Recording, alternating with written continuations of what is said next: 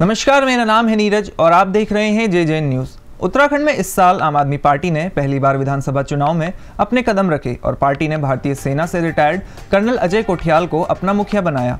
लेकिन कुछ दिनों पहले आम आदमी पार्टी को बड़ा झटका लगा, जब ये बात सामने आई कि अजय कोठियाल भाजपा में शामिल होने जा रहे हैं। अजय कोठियाल का कहना था कि वो पूर्व सैनिकों, बुज़ुर्ग महिलाओं, युवाओं और बुद्धिजीवियों की भावनाओं के चलते आम आदमी पार्टी से इस्तीफा दे रहे हैं।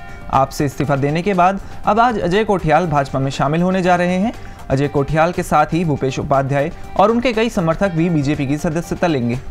भाजपा के प्रदेश अध्यक्ष मदन कौशिक ने इस बात की पुष्टि करते हुए कल ऐलान किया था कि मंगलवार शाम चार बजे पार्टी मुख्यालय में अजय कोठियाल बीजेपी की सदस्यता लेंगे।